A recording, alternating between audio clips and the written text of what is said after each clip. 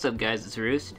Today's tutorial is on Spider's Weekly Gold Bounty, the Blood Cleaver. I've been getting some great feedback about these tutorials for the Spider's Bounties.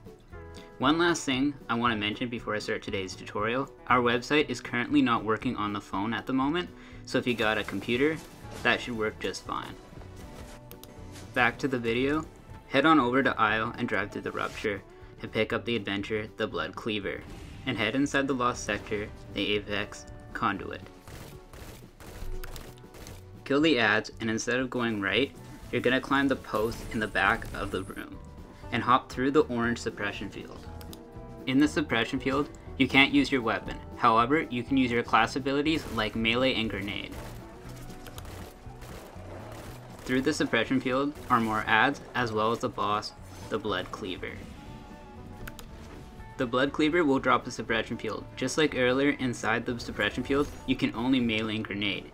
Meleeing the device in the center of the suppression field shuts down the suppression field. However, I recommend baiting the boss out of his shield and dealing damage at your advantage.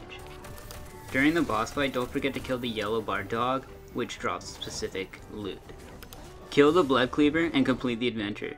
This has been Roost, I'll catch you guys next time.